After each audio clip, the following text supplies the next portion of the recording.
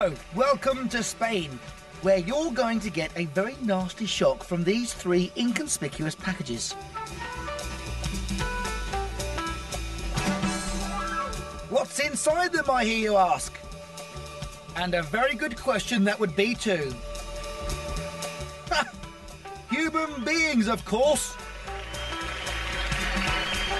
Steady on, love. It would be much easier taking the bus. Now, for our first demonstration, let's see how good this guy is at tennis as he shows us his forearm technique. Oh no, sorry, backhand technique. Now, I'm sure you've all read the book, 101 Things to Do with a Tennis Racket.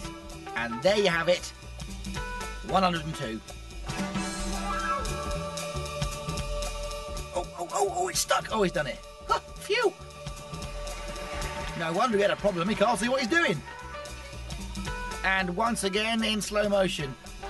I've got to say, that is the most unnatural thing I have ever seen in my life. Or is it? Because we've still got the two girls to come. Can it get any weirder? Let's find out. Normally, we'd say, don't try this at home. But in this case, feel free to have a go because you won't even get close to copying these moves.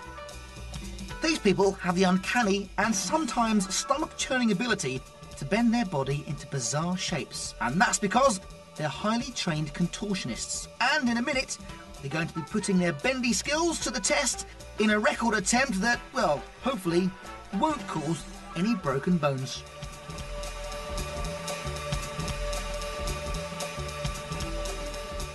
Congratulations, no bruises.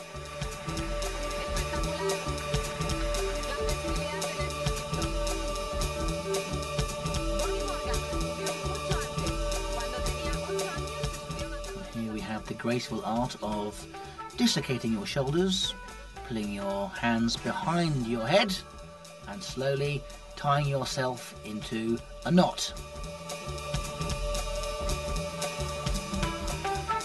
I was once asked if I could do that, and I said, I'm very sorry, I'm afraid not. Right, position number two. Assume the crash landing position. Now that looks a bit cheeky. Wow, the view from here is absolutely amazing. Come and join me. I tell you what, you wouldn't think that was possible, would you? I don't know what you're smiling at. I'm in agony just watching you. I'll tell you what, seeing really is believing.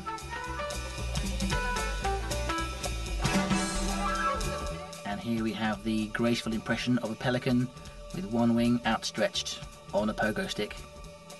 Fantastic. Back to the dislocation of shoulders technique, just to round things off. And there we go.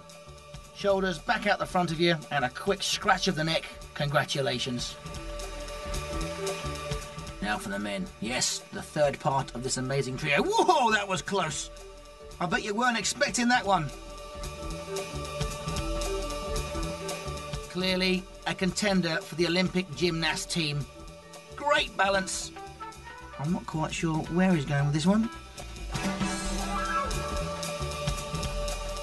Well, I've heard about walking around in circles, but that really is something quite different. You definitely wouldn't want to play this guy at Twister, would you? Well, I wouldn't. And a dainty little spin to round things off. Congratulations.